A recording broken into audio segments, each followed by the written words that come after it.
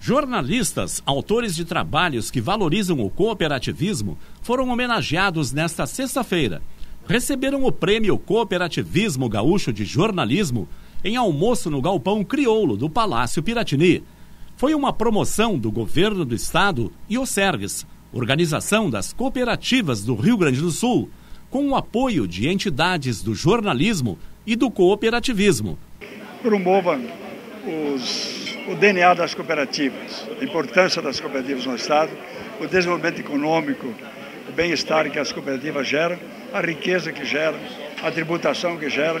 E nesse sentido, é, ficamos felizes em termos 67 trabalhos inscritos que re, retrataram é, a história do Rio Grande do Sul em 2018 no seu crescimento. Foram distribuídos 45 mil reais aos dois primeiros lugares em seis categorias: jornalismo impresso, telejornalismo, webjornalismo, radiojornalismo, fotojornalismo e mídia cooperativa.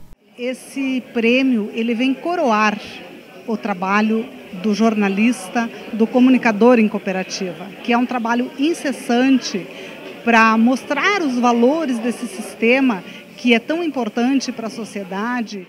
Premiados aqui sintam-se felizes, não insistam demais, porque tem gente que está repetindo o prêmio aqui, está né? repetindo o prêmio, não insiste mais, vamos dar lugar para outros, para outros falarem bem do cooperativismo, isso faz bem para todo mundo, tá?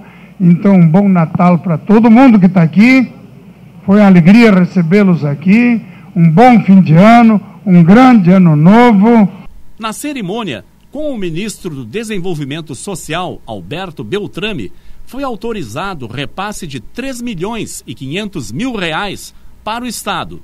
A compra de cerca de 28 caminhões com baú refrigerado, que vai melhorar as condições de transporte, eh, de durabilidade, de qualidade dos alimentos produzidos pelos agricultores familiares. Vai beneficiar cerca de 90 entidades, 600 famílias de agricultores, quase 2.400 pessoas.